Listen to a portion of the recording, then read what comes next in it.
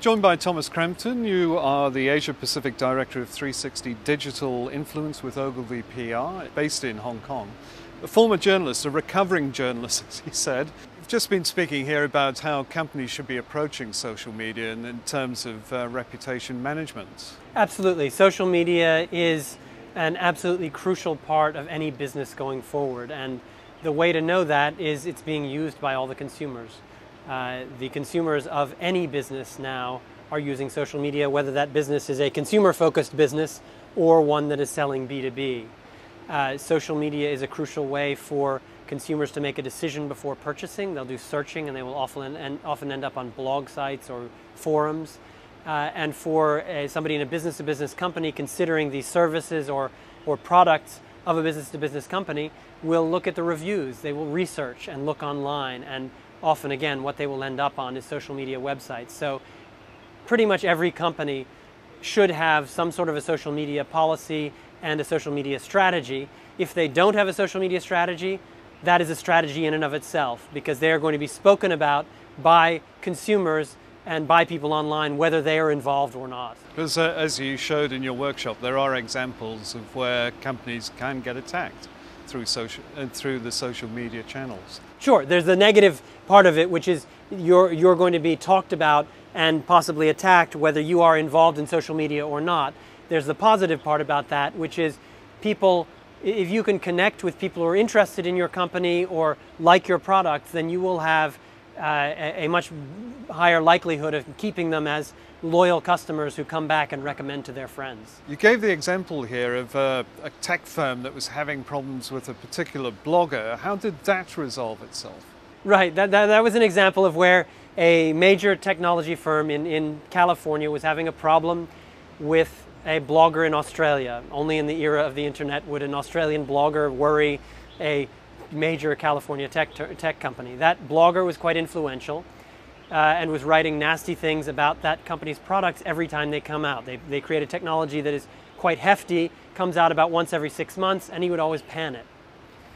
So we looked, they asked, they asked us to look in to see who this blogger was. We looked in to see who this blogger was and determined that this was somebody who, for whatever reason, had a hatred of that company and would, we thought, always write negatively about that uh, company's product. So contacting that person would likely only aggravate them and make the problem even worse. So you didn't think, you didn't try to find out what the issue was that this person had? It was clear that this was something that would not be resolved by a friendly conversation with the CEO. It was, it was clear that this was something, a, a, a passion this person had against this company for whatever reason. We couldn't really understand what the, the root of it was, to be honest.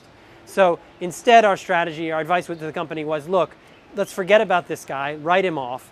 Let's engage with other members of the Australian tech community and talk to them about the product, talk to them about the company, and see what their views are and engage with them. That's what we did over the period of a few months. Uh, we did things like allowed them access to people very high up in the research and development, gave them uh, tours of, of, of, what, was, what were the upcoming products, a sense of where the company was going, all these sort of things, which these bloggers very much enjoyed and appreciated. And then the, the program wound down. The company from uh, uh, California came out with their next product. Lo and behold, uh, it was panned by that same blogger. Uh, before I had a chance to get involved in the whole thing, this is all happening overnight on the time cycles between Hong Kong and San Francisco. Uh, what happened in Australia was a very interesting thing. Many of those bloggers whom we had engaged with, and some whom we had not, started turning on the blogger who was attacking that company. And they said, wait a minute, you call yourself a professional tech blogger or a tech blogger, but you only write bad things about this company. What are you thinking? Why are you doing this? What, what, is, what is your problem? Are you really a, a, a, an objective observer or are you somebody who's running a crusade? And what quickly turned from a negative review of this product became the blogger defending themselves against these accusations. So it changed the entire dynamic and essentially putting the blogger on the back foot. Yes, it put it put him on the on the back foot and and made him defend himself rather than be on the attack about this company's product. You were a journalist with the New York Times and the International Herald Tribune. How did you develop a different tone of voice as a blogger? Yes, there's there's a very different way to operate in social media as opposed to traditional media such as newspapers. It's the way that you write. Uh, uh, you, you, the writing is much more of an iterative process. You're not trying to get a final product. You are developing something over time. I would never have dreamed of writing a newspaper article where I would put out a question, you know, does anybody know any more about this? Whereas in blogging, you would tend to do that. The length of what you write is quite different. The approach, I, I tend to break into chunks what I write online. So it's a very different kind of style of writing and approach to what you are doing. You're more trying to spark conversation within a community than you are trying to give the definitive answer to what happened today, uh, August 28th, 2011. Is it easy for a company to develop a conversational tone rather than just push out things that look like pure marketing? Developing a personality is something that we cannot do for a company. Companies have to develop their own personalities, and we can help them through the process of figuring out what their personality is, but we can't invent something. This is, you can't fake social media. If you're faking social media, you're misleading people, which is a bad thing to do. You're misleading your customers, uh, and somebody's going to figure out that that's not really you. So we need to develop an authentic tone of voice. We really need to have an authentic sense of what that company is, uh, who they are, uh, and then what we do is we help enable them to bring that authentic voice out and amplify it as much as possible. You said this morning that it was a great time to be a journalist because of the perspective of social media and storytelling. Could you elaborate a bit further on that? Yeah, this, this, this is not a great time to be a journalist. This is the best time ever in the history of humanity to be a journalist and a storyteller. Journalism is all about storytelling. Journalism is all about figuring out what's happening, what's going on, and, and expressing it and telling it.